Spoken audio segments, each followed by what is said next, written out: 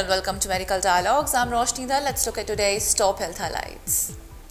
Researchers reveal how sleep affected by seasons. Are you sleeping well?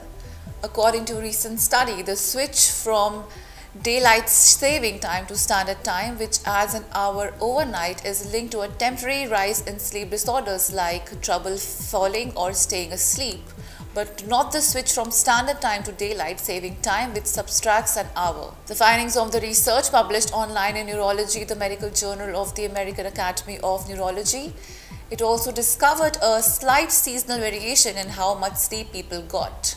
The study involved 30,097 people ages between 45 to 85 who completed a questionnaire about sleep duration and satisfaction ability to fall asleep, ability to remain asleep, and excessive sleepiness during the day. The questions included that over the last month, how often did it take you more than 30 minutes to fall asleep, and over the last month, how often did you wake in the middle of the night or too early in the morning and found it difficult to fall asleep again? Those who responded three or more times a week to either of these questions were considered to have sleep problems. For the change to standard time in the fall, researchers compared people who completed the questionnaire one week before the transition to those who completed it one week after.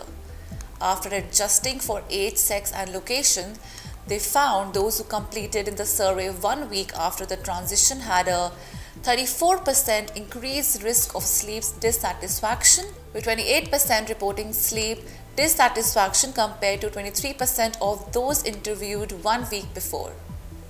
Researchers looked at when participants completed the questionnaire spring, summer, fall, or winter.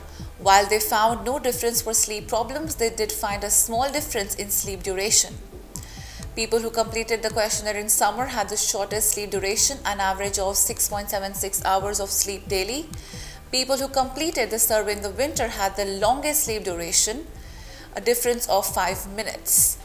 Researchers concluded that, however, previous research has linked the transitions to and from daylight saving time with higher rates of accidents as well as an increased risk of stroke and heart attack.